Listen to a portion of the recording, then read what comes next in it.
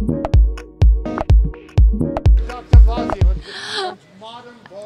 that what I am? I'm Dr. Vazzi.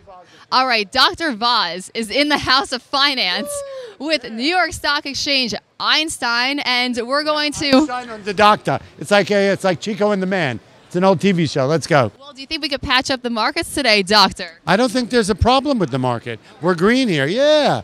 I think we had an opportunity yesterday. So we've had a couple of days of sell side. What's more important to me is we've had a couple of days of reversals right? So we've seen the market react. We, we, were, we had two days where we opened up and ended up selling off drastically into the close, and that's felt significant to me. It's sort of we saw a lot of rotation in money. We saw the the Fang ETF and the Fang stocks get really hurt a couple days in a row. But yesterday we saw a reverse on that, and we saw a big sell side in equities. We had a big imbalance on the close yesterday. There's about two billion dollars worth of stock for sale on the close, and the market actually it never flipped. It, it, the market responded accordingly, and we sold off and we closed near the lows. Right. It's not where the market opens; it's where it ends up. We've been opening down some mornings, ending up. Right. There've been some some sort of uh, anxious sell-offs midday. Right. We saw that thing about Flynn the other day, and it was sort of like we got sucked into this vortex, but it finds value at some point without really selling off too much. We were down 350, I think, at one point the other day off the Flynn thing, but um, you know, as as we've seen all year long, people start stepping in at a level, and we ended up only closing down 80. That's significant. The last two days, we've seen reversals from up to down, which we haven't seen for a while. We've had three consecutive, slightly medium reddish days. I thought after yesterday, we may.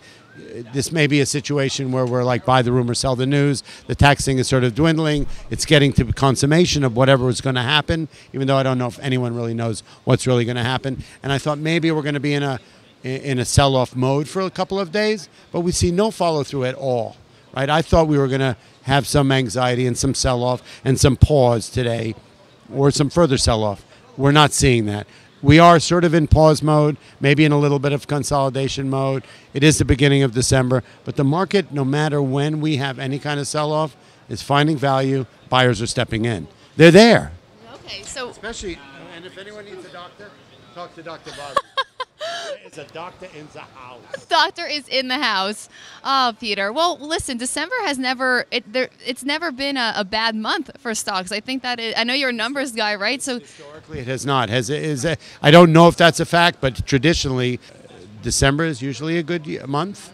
Uh, whether it's a markup or a, or a rally or people hopping on board to close out their positions, it's traditionally been a positive month we've the last few years we've ended up and i mean you know it's not to say that at the end of the month there isn't a bit of you know money being taken off the table. It kind of felt that way yesterday. You know you're seeing rotation out of tech. The outperformers were sold a couple last couple days. The underperformers have been bought.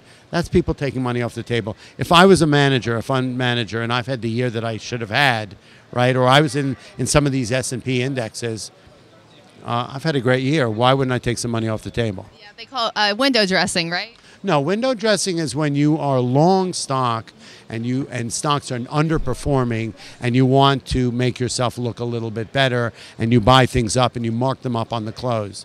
That's not what we're seeing. This market is up on its own. They don't need to dress any of these windows. These windows are Christmas windows all day long here. Market's up 6,000 points. You don't need to dress these windows. All right, so we're going to Let's be honest here. All right, so I'm going to go got dressed. I'm going to go home and string up some lights then. you do that. All right, deal. Thank you so much, Peter. Pleasure.